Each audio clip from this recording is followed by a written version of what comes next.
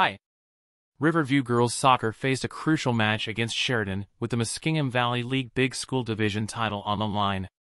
Paisley Miller scored for Riverview early in the second half, giving them a lead. However, Sheridan fought back, and McKenna Sheila equalized the game midway through the second half.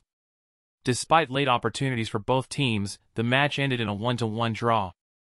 Riverview coach Dave Crisler praised his team's performance but acknowledged that they no longer control their destiny in the league.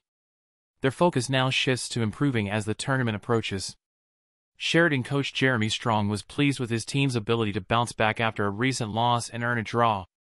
Both teams showed promise, and the future looks bright for the players, with steady improvement and a growing pool of talent.